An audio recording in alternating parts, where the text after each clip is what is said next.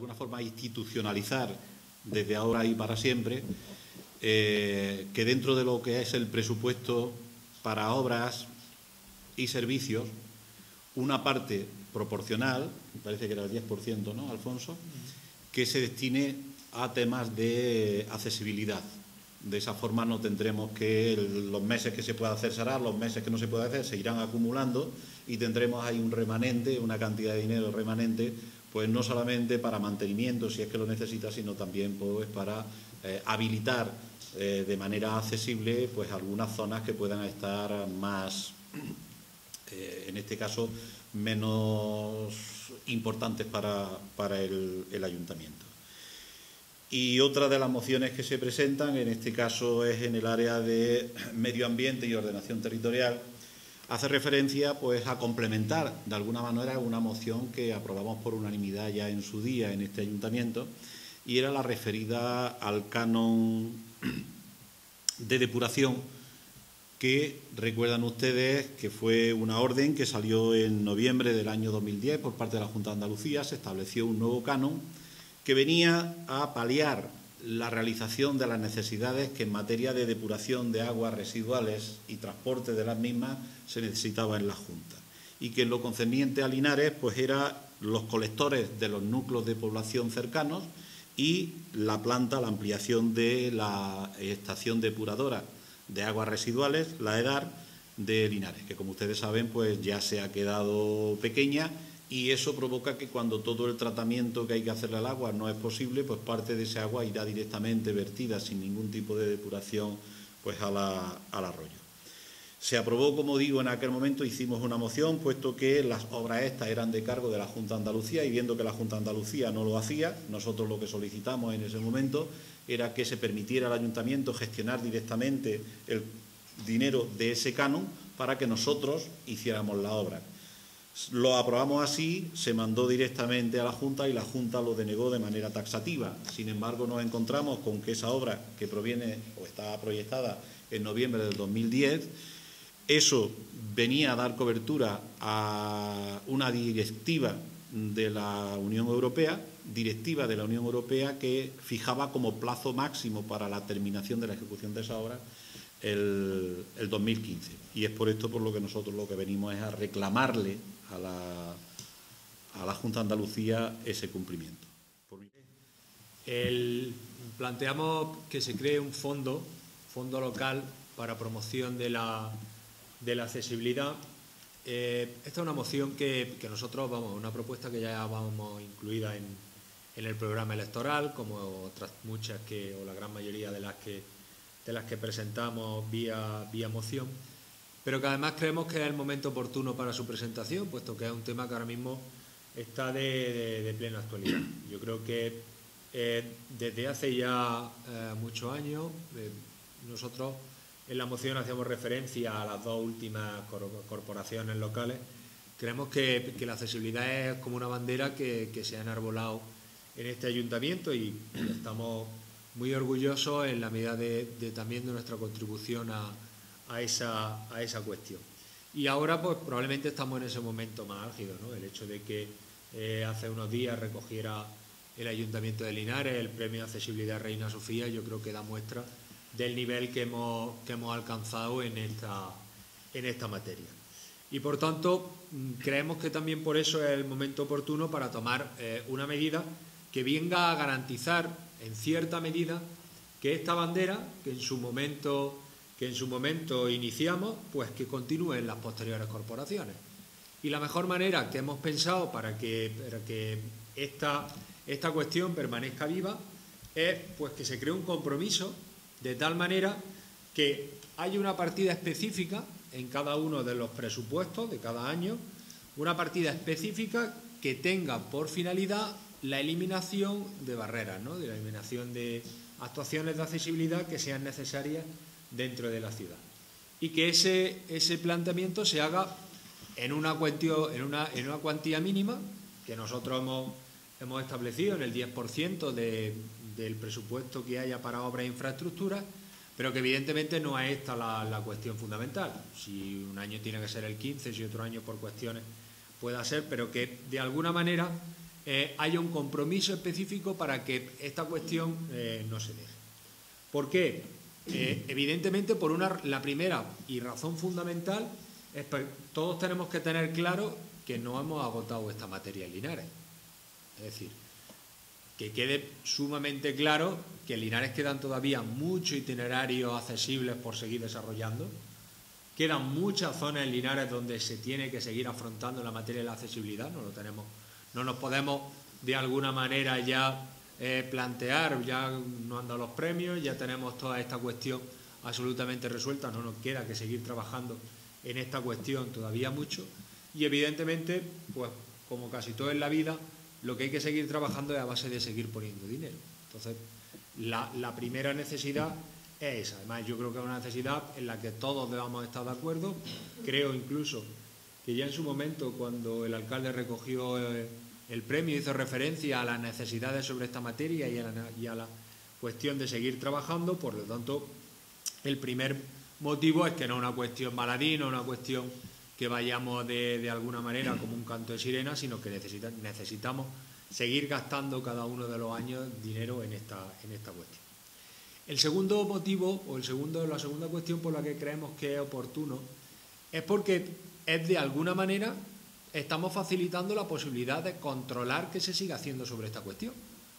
Desde el mismo momento que estamos estableciendo una partida específica sobre esta cuestión, el resto de los grupos políticos podrán de alguna manera saber si se está gastando, si no se está gastando, cómo se está realizando esa materia o participar también, puesto que hay una partida específica, donde sería más oportuno poder gastarlo en una cuestión. Si no tenemos una eh, partida específica en esta cuestión, pues difícilmente se va a poder desarrollar. Y en tercer lugar, eh, por una cuestión de, que perdure en el tiempo. ¿Perdure en el tiempo en qué sentido lo planteamos? Pues actualmente eh, tenemos muy claro que hay un consenso grande entre los tres grupos políticos que están representando, representan a los ciudadanos en el Ayuntamiento de Linares, un consenso muy importante sobre esta cuestión. Y lo que pretendemos es que este, este consenso quede de alguna manera mm, planificado, que quede de alguna manera eh, eh, para que continúe en aquellas posibles corporaciones que vengan después.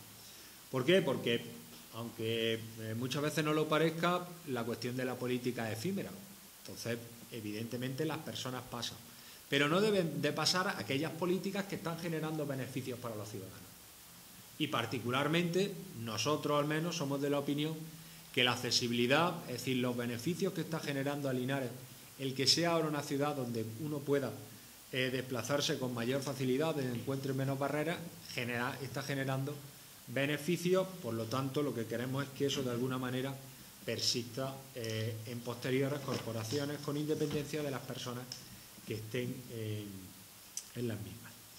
La cuestión eh, de que se plantee un fondo es porque precisamente los legisladores así han establecido que era, era un, arma oportuna. Por ejemplo, la ley 199 eh, de atención a personas con discapacidad en Andalucía ya hablaba de, que este, este fondo se planteara. Y posteriormente, en el Real Decreto 239-09, de desarrollo de esa ley de atención a personas con discapacidad, fue cuando expresamente ya se ha creado en la Junta de Andalucía un fondo específico sobre esta materia. Y entonces sería oportuno que aprovecháramos nosotros. En ese fondo específico que eh, tiene la Junta de Andalucía a, este fin, pueden solicitar acciones de accesibilidad el resto de los municipios. Pues particularmente lo que consideramos es que si nosotros ya tenemos también un fondo específico en esa cuestión, podíamos compatibilizar, eh, todos yo creo que ya tenemos conciencia que la mayoría de muchas partidas que se solicitan a través de programas son programas que vienen cofinanciados, pues precisamente si nosotros ya a esa administración le decimos que ya tenemos un fondo también para esa cuestión, a lo mejor también nos genera la posibilidad de obtener fondos de otras administraciones, en este caso de la Junta de Andalucía, para esta finalidad. Y yo, por último, eh, simplemente sí queríamos hacer una manifestación que la incluimos expresamente en la, en la, moción. Decir, lo que no esperemos es que se malinterprete el planteamiento de, esta moción. Eh, en el sentido de que no tiene por objeto una crítica sobre esta materia que tampoco tendría ningún sentido, puesto que particularmente es una cuestión en la que creo que se estaba trabajando bastante bien por tanto, no significa que es algo que no estamos haciendo. Es decir, que se le vea esa posibilidad de futuro que nosotros le estamos dando y de que perdure en el tiempo este tipo de política. Y esa es verdaderamente la finalidad. Es decir, no estamos de alguna manera solicitando una partida para este año, no estamos solicitando una partida para el año que viene. Estamos solicitando una partida que se mantenga en el tiempo sobre esta, sobre esta cuestión. Bueno, la, la moción esta que se presenta se debe, tal y como ha explicado Antonio, pues a lo que nosotros estimamos, y parece obvio que es una tardanza de la Junta de Andalucía en realizar la obra que tiene comprometida, no solo con Linares o la provincia, sino con toda nuestra comunidad, puesto que desde 2010 que se aprobó eh, el canon que estamos pagando todos en el recibo de la depuración de agua, que tenía como objeto colaborar de una manera económica, directa, de los usuarios con estas obras de mejora del saneamiento de toda la comunidad, pues la verdad es que hasta, hasta el presente no hemos tenido noticia de cuáles son las actuaciones que está llevando. Sí sabemos, y estamos hablando de, 2010, que eh, el, Consejo de Gobierno de la Junta, eh, de acuerdo con el Parlamento, que, como es lógico, puesto que eran los mismos exactamente, pues declararon que las obras que se pretendían realizar eran de interés de la comunidad. Estamos hablando de 2010 y una declaración de obras de interés. Lamentablemente no sabemos cómo se valora el interés de la Junta por estos aspectos que lamentablemente también han tenido que venir impuestos por una directiva o recomendados por una directiva de la Comunidad Europea, puesto que, como ustedes saben, el tema de la depuración de vertidos es fundamental en el ciclo integral del agua, puesto que lo que nosotros estamos echando por esos cauces después es aprovechado por otras poblaciones para riego o incluso para una posible depuración y entonces lo único que hacemos si nosotros en cabecera no estamos resolviendo estos temas de una manera adecuada es complicarnos puesto que todos pertenecemos casi a la misma cuenca hidrográfica pues los costos generales de toda la comunidad, aparte del daño ecológico que eso supone en, nuestros ríos y cauces normales. ¿eh? Eh, el plan era en principio adecuado, se había previsto 1.765 millones de euros, que es una cantidad bastante importante y sobre todo además estamos hablando de 2010, supongo que ahora eh, ya nos costará algo más. ¿eh? y se preveía hacer una, bueno, los contratos directos que iba a generar esta obra, porque al final también esto repercute, eran 28.400 en toda la, comunidad. Concretamente, en la provincia de Jaén las, obras estaban valoradas en 164 millones de, euros y habría correspondido, por esa regla de tres simple, aproximadamente 2.600 puestos de trabajo.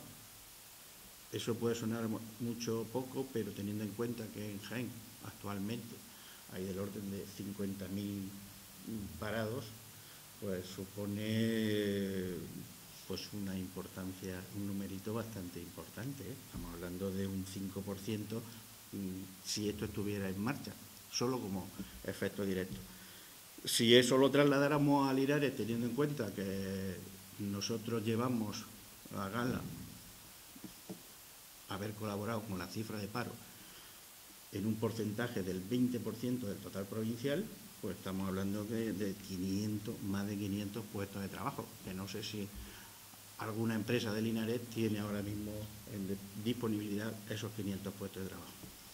Pero en fin, no se trata de eso, lo que está claro es que esto tenía un plazo, el plazo es final 2015, 2015, aunque no lo, no lo parezca, es pasado mañana, sobre todo en temas de obras de cierta envergadura, y no se han empezado. Esta obra no es mover un tabique y hacer dos azulejos, esta obra suele ser importante, una ampliación de una, de una obviamente significa una, regeneración de, lo existente y ampliación de todas sus instalaciones, tanto de obra civil como las instalaciones propiamente dichas, de acometida importante y demás, y esto no se hace de un día para otro. Por tener una idea, normalmente los plazos que suele colocar la propia Junta en este tipo de operaciones, pues suele rondar los 18 o 24 meses. Poniendo ya que esto sea muy urgente, pues vamos a poner los 18, pero es que ya no nos quedan. ¿eh? Entonces, eh, eh, lo grave es que ni siquiera tenemos ni conocimiento exacto de cuándo se van a ejecutar, ni cuándo se van a empezar, ni en qué situación están los proyectos. Pero lamentablemente no solo desde el punto de vista mm, local de, Linares, sino de ninguna otra planta de, Andalucía. Entonces, claro, eh, realmente no sé quién organiza esto, pero, pero creo que es mejorable. Desde el punto de vista nuestro, local, pues necesitamos esa, esa, esa ampliación de la, eh, de la estación depuradora, porque, como se acaba de comentar, el plazo termina 2015 y no termina 2015 y después te dan otros plazos ya por gusto. O sea, esto ya tiene sus plazos más que fijados y aparecen las sanciones. A nosotros se nos pidió, a todos los ciudadanos, que aportáramos un canon en, en cada uno de nuestros recibos. Y eso hemos estado haciendo. Todos, todos de manera directa estamos sufragando ya llevamos aportado con fondos propios de los ciudadanos 200 millones de euros. De esos 200 millones de euros no sabemos dónde ha ido ni una peseta. Hasta ahora, el resto de dinero, que se supone que eran fondos europeos y demás, estarán gestionados también, suponemos, por el mismo que gestionan los fondos europeos que son para la rehabilitación de nuestro palacio municipal. O sea, desconocido como todos ustedes saben también, esos son fondos europeos, pero lamentablemente no sabemos dónde están ni cómo lo, están eh, manipulando. Quizás suene un poco raro, pero la verdad es que no sabemos dónde lo están colocando. El, problema de, esto, esos fondos están muy claros, son finalistas, tienen que estar destinados para todas las operaciones de depuración, de mejora de la depuración de toda la comunidad, y en concreto hay una parte que es de Linares, y no sabemos ni cuándo lo van a empezar y especialmente no lo sabemos cuándo van a terminar. Hasta ahora se nos ha dicho por parte de algunos que se supone que están defendiendo a la Junta ahora más que nunca, que es que tenemos que ser solidarios. Y lo estamos siendo.